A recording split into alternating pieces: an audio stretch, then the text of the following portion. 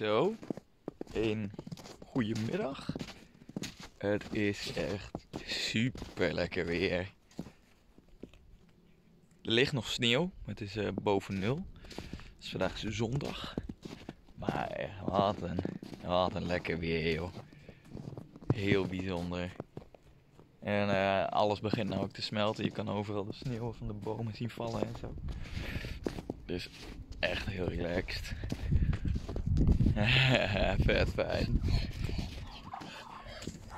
Eentjes. Ik heb ehm, gisteren en vandaag heb ik de, vijver eh, flink vol gegooid. Met, eh, oh ja, flink vol gegooid met sneeuw. Wacht, zal ik even laten zien. Tja, dit was een vijver. Die zit mooi vol. Dus en nu dat het smelt, eh, hoop ik dat het weer een beetje, een beetje kan vol, vol stromen met water. Dat zou wat mooi zijn. Kijk, en hier zo heb ik het, uh, het, het ja, hoe noem je dit? Dit, dit geeltje heb ik nou ook weer vrijgemaakt. Zodat wat smeltwater erin kan lopen. Zo relaxed. Een beetje zo.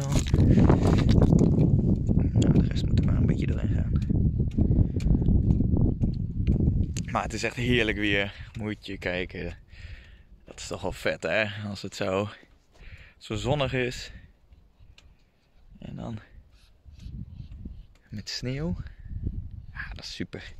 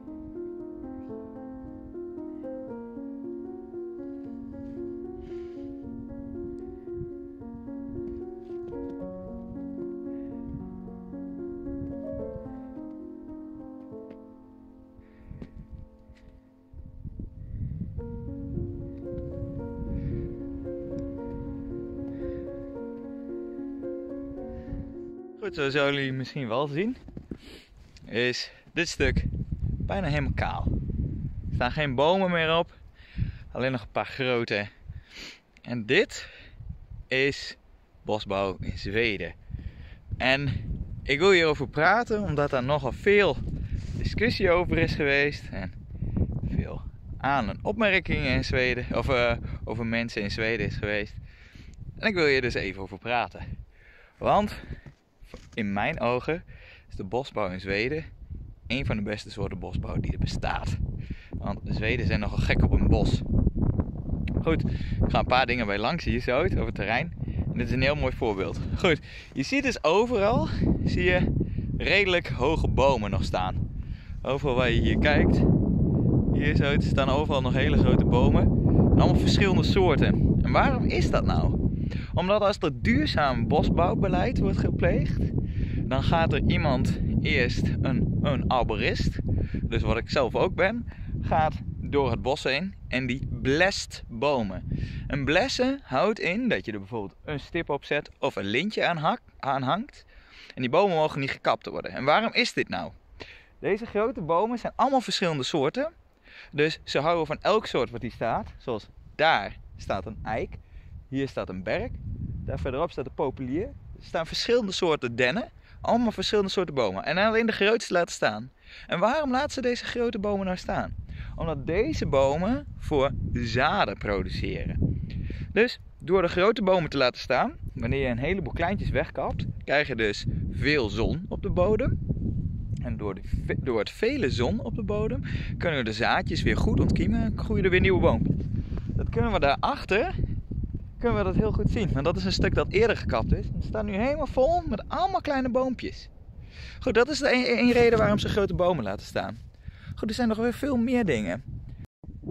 Hier achter mij staat een boom. Die is voor de half, helft afgezaagd. En meer niet. En waarom staat dit er nou? Omdat er een heleboel beesten zijn, zoals spechten en uilen en andere beesten, die juist gebruik maken van dit soort half afgezaagde bomen. Dit is heel erg essentieel voor het bosleven wat hier nog is. Dus die nog in de bossen omheen, hier omheen zijn. Zoals roofvogels en vleermuizen en noem maar op. Die maken juist heel erg gebruik van deze half afgezaagde bomen. En die staan hier overal. Dit is niet de enige. Daar staat er nog een. En dan hier verderop, overal staan er nog wel een paar. En dat is dus ook weer om de biodiversiteit te houden. Daar verderop, misschien kun je het wel zien. Ja, ligt een hele grote bult met allemaal grote stammen. Die ze niet meenemen. Die ze prima mee hadden kunnen nemen voor houtoogst. Maar dat doen ze niet. Dit heet een faunadepot. Zelfs in het Zweeds heet dat zo. En een faunadepot is dus juist weer voor alle kleine bosdiertjes en vogeltjes en noem maar op, konijnen, hazen en alles. Om daarin te verschuilen weer tegen de grote roofdieren die hier zijn. Dus heb je allemaal elementen die ze hanteren in het duurzaam bosbeleid. Moet ik er dus bij zeggen, duurzaam bosbeleid. Je hebt ook bosbeleiden van particulieren. Maar Zweeskok voor de overheid houdt dit bosbouwbeleid aan. De Zweeskok is een beetje de stadsbosbeheer. Die houdt dus, om het nog even bij lang te gaan, de grote bomen over, zodat die zaden kunnen produceren om nieuwe eh, jonge eh, bomen te krijgen, een betere biodiversiteit te krijgen in plaats van terugplanten, wat vaak maar met twee of drie soorten gedaan wordt. Daarom zie je heel veel sparrenbosjes of dennenbosjes, maar nu heb je veel meer verschillende soorten, dus biodiversiteit. Ze houden staande bomen over, half afgekapte staande bomen, voor roofdieren, roofvogels en andere beesten. En ze hebben fauna ook weer voor wilde En waarom doen ze dit nou eigenlijk? Waarom houden ze het hout weg en doen ze dat op deze manier? Nou, omdat ze natuurlijk, ze willen weer meer bos genereren. Oh, weer een autootje. Ze willen natuurlijk meer bos genereren. Maar het heeft ook te maken met het bosbeleid. En hoe gaan ze nou, waarom doen ze dat nou eigenlijk? Vroeger in Zweden waren er veel meer bosbranden dan nu. Er zijn nog steeds wel bosbranden, maar die worden elke keer geblust.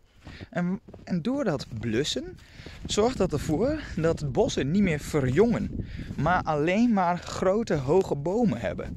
En natuurlijk zijn grote oude hoge bomen fantastisch Alleen voor de biodiversiteit onder die grote bomen is het bijna nul.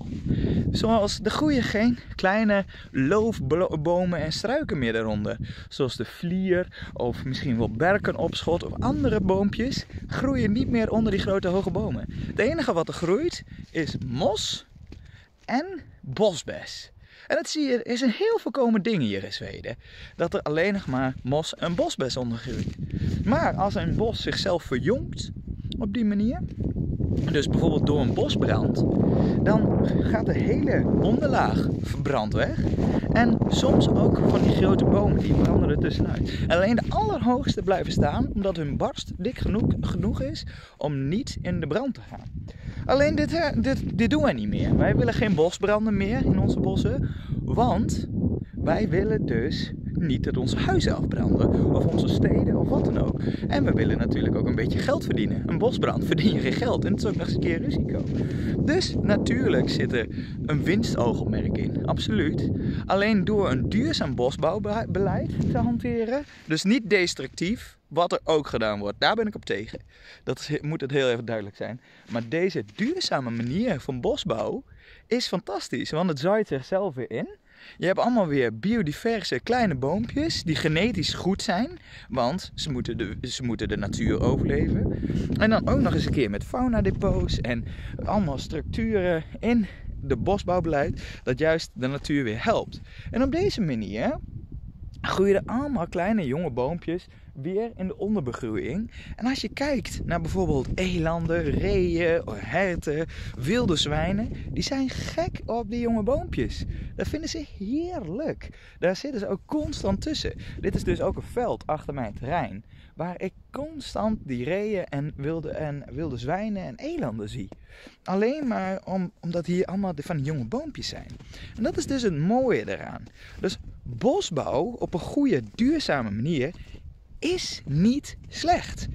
Absoluut niet. Alleen je hebt dus ook natuurlijk varianten van bosbouw waarbij het destructief is.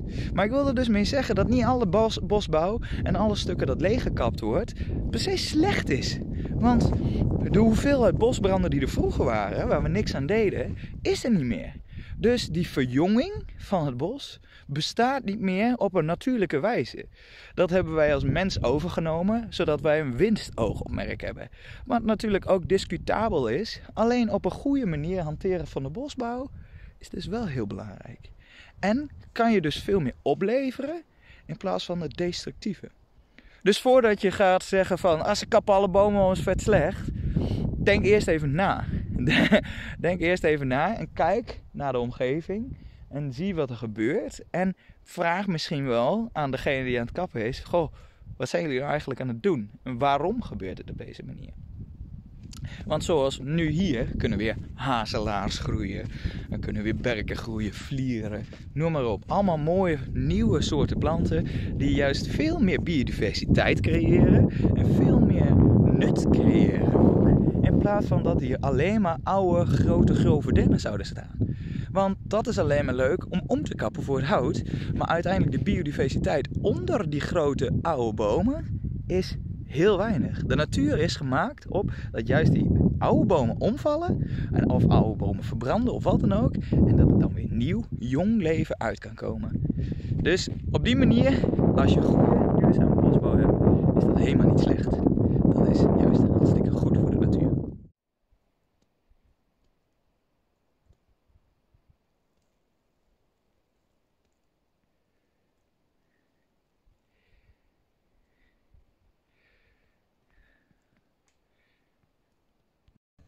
Zo, we zijn even de avondeten aan het opwarmen. En ondertussen gaan we ook even koekjes bakken. Lekker man. Zo, de eerste lading koekjes. Lekker man. Super. Goed gelukt.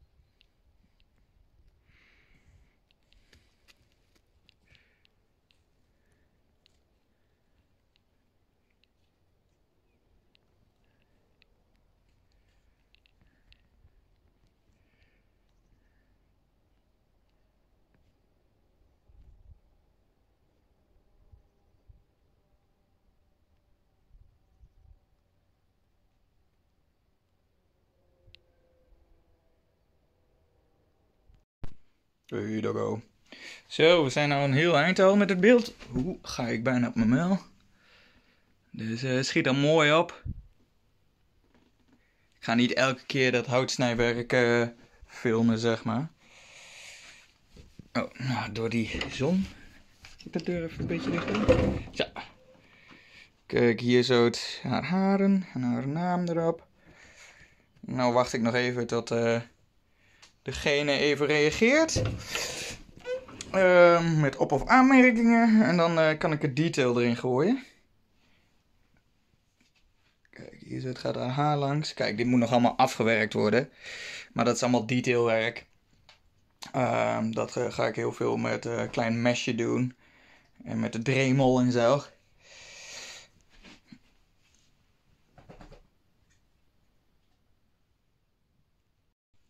Dus ja, zover zijn we nou op het moment.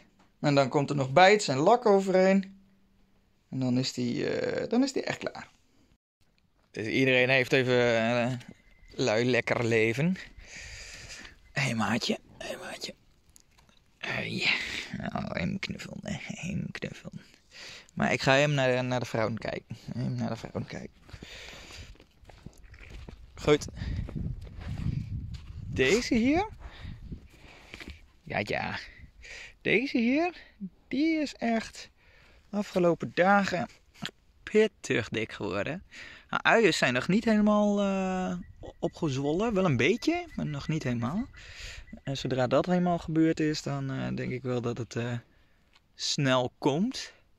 Ik hoop dat ze een tweeling heeft. Maar ik, ik weet wel bijna zeker dat deze lammetjes heeft. En die andere weet ik allemaal nog niet. Misschien één. Maar ik denk dat deze sowieso twee heeft. Zou leuk zijn, maar we gaan het wel zien. En wat, wat zeg jij er nou van dan? Wat zeg jij er nou van dan? Heb je goed je best gedaan?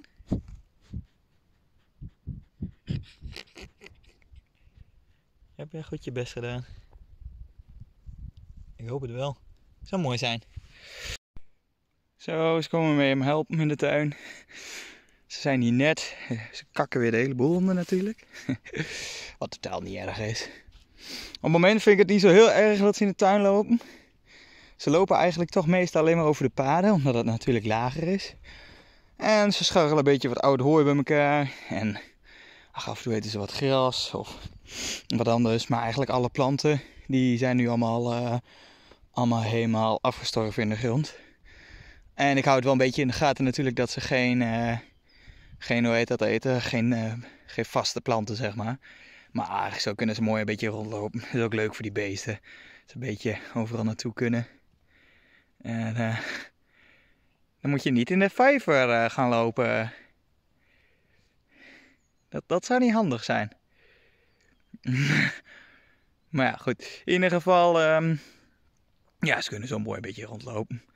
En als, het, uh, als ze weglopen, als ze over het hekje ingaan of zo, dat maakt allemaal niet zoveel uit. Ze gaan niet zo heel veel heen en ze komen toch wel als ik ze roep. En anders heb ik altijd de hond nog. dus ze kunnen mooi nou een beetje, een beetje zo'n ding doen hier. Altijd leuk om te zien.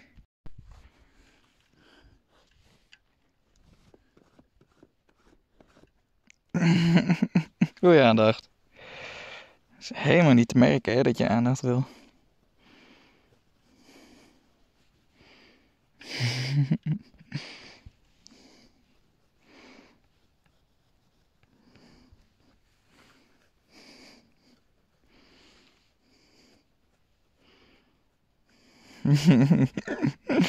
Wie heeft ooit eens een keer een schaap zo verliefd zien kijken?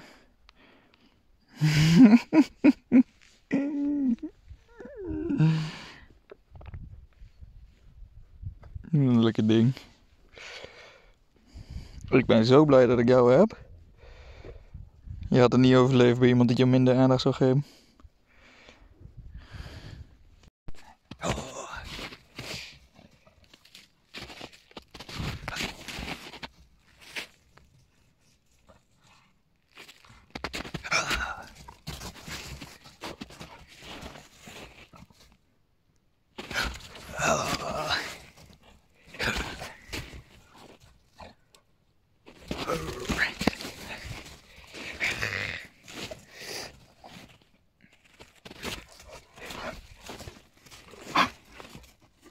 Zo,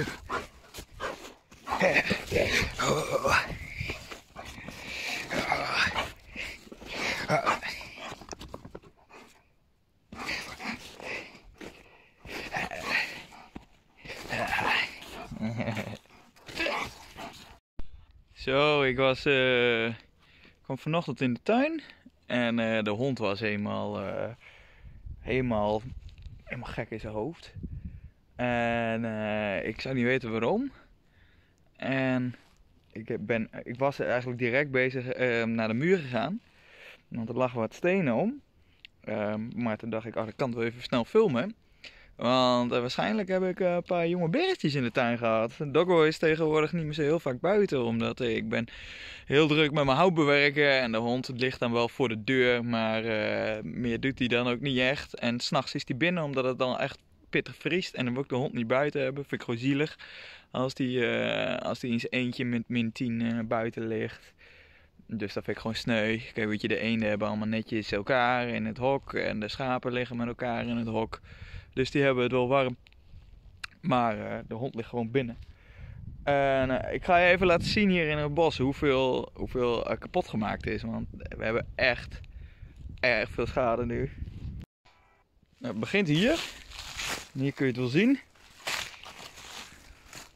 Hier is, eh, hier is alles omgeploegd. En dan gaat het hier langs. Is hier alles omgeploegd. Daar kun je het wel zien. Hier bij de boom. En we gaan nou deze kant erop. Ja, moet je kijken hier in het bos. Dus al die zwarte plekken, zoals daar en daar, is allemaal omgeploegd door die, door die varkens. Die zwijnen. Hier. Heel veel. Hier. Ook alles omgeploegd.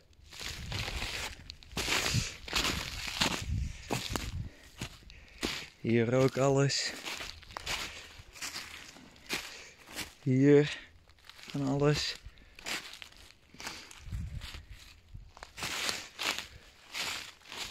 En hier. Hier. En dan. Ja, het is echt niet normaal. Overal is alles omgeploegd. En dan zul je vast denken, eh, Bram, je hebt toch een hek om je terrein heen? Heb je die hond? Horen ze niet op het terrein te komen? Inderdaad, en dat zijn ze ook niet geweest. Ehm, alleen ik vermoed dus dat één of twee van die kleine biggetjes, ehm, ik denk één, per ongeluk op terrein is even geweest. Want anders zou ik veel meer schade hebben in de tuin. Want dan, dan zou het niet te houden zijn. Maar ik zag nu één of twee keer wat, wat hooi van een moestuinbed af. Ik denk, hé, hoe kan dat dan?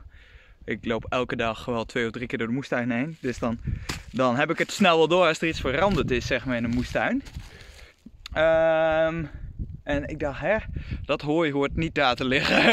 Vet autistisch natuurlijk, maar, eh, maar dat was dus wel even dat ik dacht van, eh, zo, dan moet ik toch wel even opletten. Ehm, dus de eerste keer dat dat gebeurt, heel erg in het begin, toen ik hier net een week woonde, had ik, had ik eh, hier zit in de tuin, waar nu de kast staat, zeg maar. Daar had ik er toen 30 lopen. En toen heb ik heel snel alle hekken en muren ehm, voorzien. Van, eh, ja, tenminste, ik heb overal hekken omheen gezet en noem maar op. Dus, ja, dit is dan de, de eerste keer. Maar dat is, er was gewoon een, een stukje omgevallen of zo. Aan muur. En dat was hier zo. Dat heb ik alweer redelijk kunnen fixen. Maar we gaan hem nu wel weer wat verder ophogen. Eh, Ik zal even uitzoomen. Zo. We gaan hem wel iets verder ophogen. En dan, dan hoop ik weer dat het eh, oké is. Maar ja, ik denk, eh dan meld ik even. En de hond was vanochtend echt heel gek aan het doen. Gewoon kwijlen en nou, dit dus, dit gedrag. De hele tijd aan het rondlopen, aan het kwijlen en aan het piepen. Dus ik dacht, oh, er is wel iets aan de hand. Dus, ehm ik heb nou net die muur ook weer opgebouwd. En ik bedacht mij net dat laatst natuurlijk de schapen in de moestuin zaten. Want ik heb overal langs het hek hebben gekeken.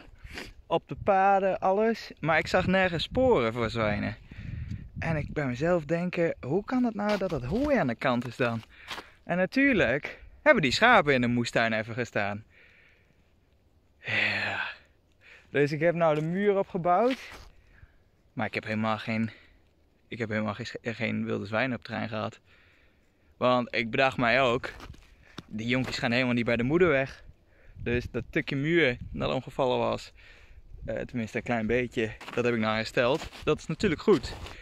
Maar daarbij heb ik helemaal geen wilde zwijnen op terrein gehad. Ik zat echt te denken, dat ik, het kan helemaal niet wat ik nou vertel. Dat is, ik, dat is misschien mijn snelle gedachte, maar dat kan helemaal niet. Ik heb ze dus wel naast het terrein gehad, dat is 100% duidelijk. Maar die kleine everzwijntjes gaan helemaal niet ver van de moeder af. Dat doen ze gewoon niet, daar, daar zijn ze veel te schichtig voor. Dus die gaan echt niet apart van de moeder over een, over een hek heen springen en dan hierheen. En dan een beetje hier eten en dan weer terug. En dan zou ik ook veel meer schade moeten zien en sporen van die zwijnen moeten zien. Dat heb ik allemaal niet gehad. Maar wat ik wel zag waren sporen van de schapen natuurlijk, omdat ze hier dus even gelopen hebben. Dus ja. ik, ik, uh, nou, ik heb in ieder geval de muur hersteld, maar dat was niet uh, super nodig geweest. Omdat ik het gewoon fout had. Maar ja, dat gebeurt ook wel eens. Dat maakt ook niet uit. Misschien was het wel het universum dat tegen mij zei: Oeh, Bram, die muur is kapot. Dus we gaan net doen alsof er zwijnen in je tuin zijn geweest. Zodat, uh, zodat jij die muur gaat herstellen. Dat denk ik. Dat denk ik. Zo, het is weer uh, een mooi dagje. Het is vandaag zaterdag. Dus vanavond moet ik de vlog even ook afediten. Maar wat wil ik nou gaan doen? Ik wil hier een soort van uh, maken voor nieuwe plantjes. Die ik hier dan weer neer ga zetten. Ik denk dat ik, uh, nou, 1, 2, 3 denk ik. Drie plankjes erbij doe. Die wil ik dan hier zo te inmaken. En niet echt aan het kozijn vastschroeven of zo, maar gewoon een beetje ertussen tussen drukken. Dus uh, dat gaan we even doen. Misschien dat ik dat daar voor het raam ook nog wel even ga doen. Um, mm, ja. Ja, dat denk ik. Zo, we hebben hier nog vast wel wat staan wat ik kan gebruiken. Uh, dan gaan we eens even kijken wat ik allemaal nodig heb precies. Een plankje sowieso. Een balkjes. Hmm. Nou, gaan we, gaan we even uitzoeken en dan, uh, dan ga ik wel weer filmen. Zo, wat oude balkjes. Als ik die 100 in sum.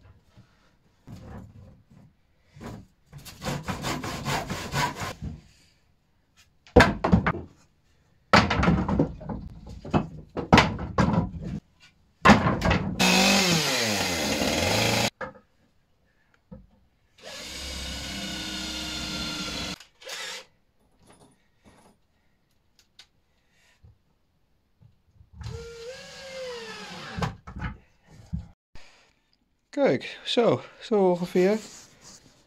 Dat is hem dan en die tik ik dan even binnen erin. En dan zul je jezelf wel afvragen, goh, waarom doe je dan niet gewoon die plankjes aan het kozijn schroeven? Maar dat vind ik helemaal niet relaxed. Ten eerste dan heb ik die gaten in het kozijn. En ten tweede, dan heb ik de, die planken er altijd zitten.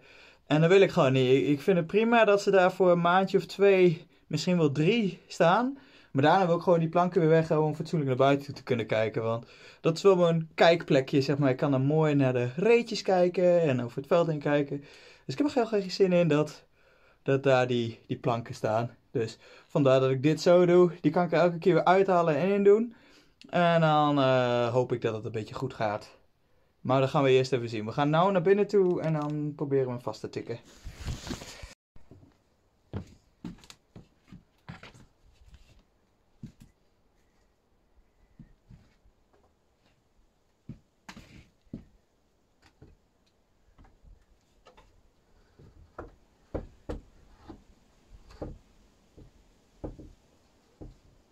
Nou, dat... Hé? Hoe kan ik er zo naast zitten?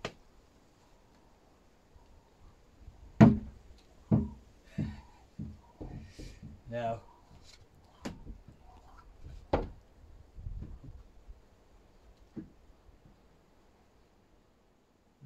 en deze plankjes niet weg. Doet hij het ook. En, eh,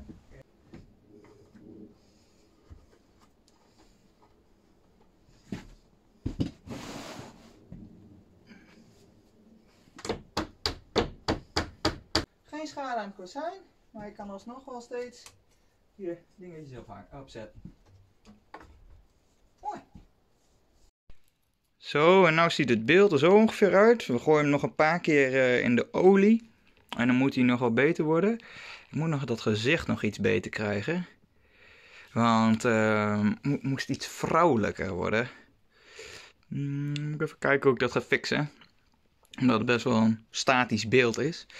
Moet ik even kijken. Maar uh, dat gaat goed. En uh, nou, dit zit er ook in. Hartstikke mooi geworden zo. En dan uh, misschien dat ik later nog aan de andere kant in de keuken nog wat maak.